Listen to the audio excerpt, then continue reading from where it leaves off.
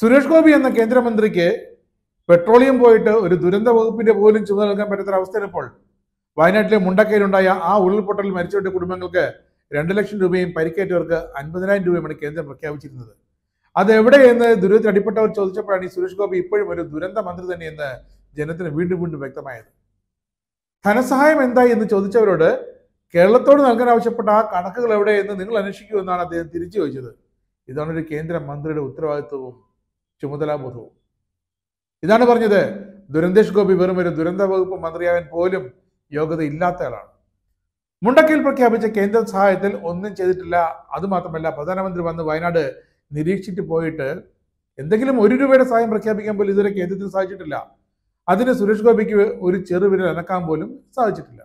എന്നിട്ടും കിടന്ന് തുള്ളുകയാണ് കേരളത്തിനെതിരെ സുരേഷ് ഗോപി. കണക്കവിടെ കണക്കവിടെ ചോദിച്ചിട്ട്.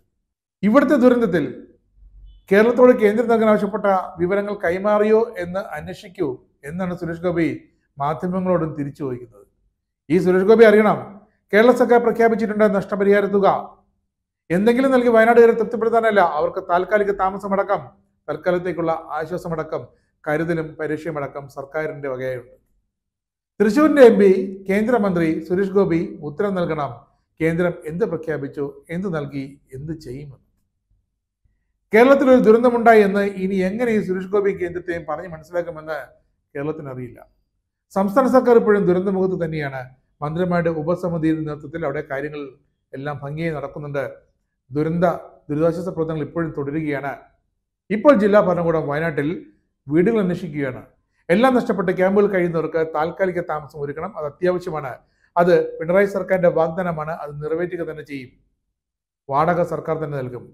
മുട്ടിൽ മേപ്പാടി വൈത്തിരി അമ്പലവയൽ വേങ്ങപ്പള്ളി മീനങ്ങാടി ഈ പരിധിയിലും കൽപ്പറ്റ നഗരപരിധിയിലുമാണ് ഇപ്പോൾ ജില്ലാ ഭരണകൂടം ക്യാമ്പുകളിൽ കഴിയുന്നവർക്ക് താൽക്കാലിക താമസത്തിനായി വീടുകൾ അന്വേഷിക്കുന്നത്. പ്രതിമാസം ഇവർക്ക് ആറായിരം രൂപയുടെ സർക്കാർ വാടക അനുവദിക്കുമെന്ന് മുഖ്യമന്ത്രി പ്രഖ്യാപിച്ചത്. പിന്നെ നഷ്ടപരിഹാരത്തിന്റെ കാര്യം. ദുരിതത്തിൽ മരണമടഞ്ഞവരുടെ ആശ്രിതർക്ക് ആറ് ലക്ഷം രൂപ സംസ്ഥാനം ഇതുവരെ പ്രഖ്യാപിച്ചു കഴിഞ്ഞു. എസ് ഡി ആർ എഫിൽ നിന്ന് നാല് ലക്ഷം രൂപ അനുവദിക്കുന്നതിന് പുറമെ മുഖ്യമന്ത്രിയുടെ ദുരിതാശ്വാസ നിധിയിൽ നിന്ന് രണ്ട് ലക്ഷം രൂപ കൂടി ചേർത്താണ് ഈ ആറ് ലക്ഷം രൂപ. വൈകല്യം സംഭവിച്ചവർക്കും സർക്കാർ നഷ്ടപരിഹാരം പ്രഖ്യാപിച്ചിട്ടുണ്ട്. അതെല്ലാം വളരെ കൃത്യമായി തന്നെ ഒട്ടും കാലതാമസമില്ലാതെ കൊടുക്കുകയും ചെയ്യും. ഇത് സുരേഷ് ഗോപി കേന്ദ്രം കാണുന്നുണ്ടോ എന്നും കരുതുന്നുണ്ട്.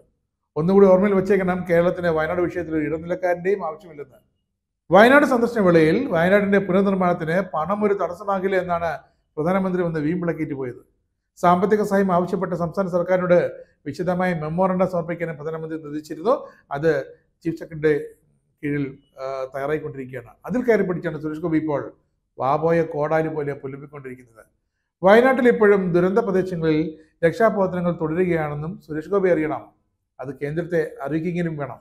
കാരണം പതിനെട്ട് ദിവസം പിന്നിട്ടിരിക്കുന്നു.